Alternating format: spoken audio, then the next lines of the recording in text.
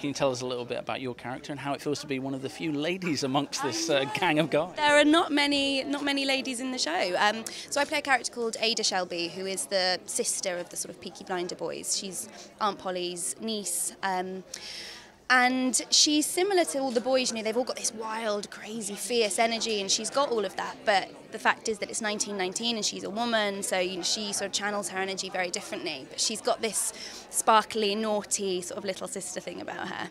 Um, but yeah, like you said, there was only three sort of main female parts in it, which is but they're all very strong. That was the lovely thing, the, the, way that Steve Knight's written them. They're incredibly strong women. None of us are sort of the damsel in the stress or, you know, fawning over the boys. They're exciting, gutsy women.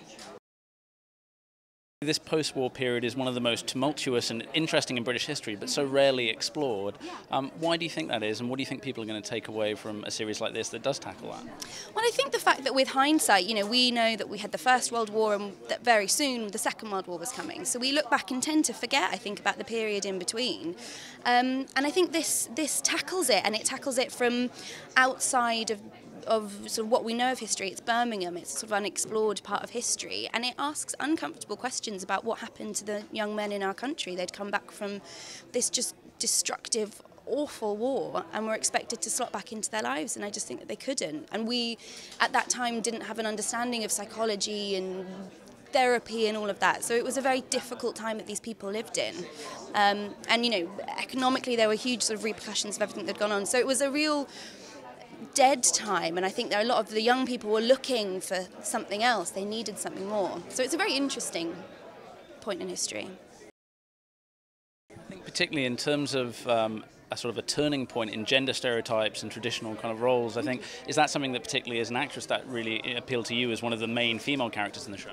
Definitely, and still now, you know, so many of the parts that I read tend to be these soft, sweet little girls, and you know, and there's two-dimensional characters, and they're there to support the men.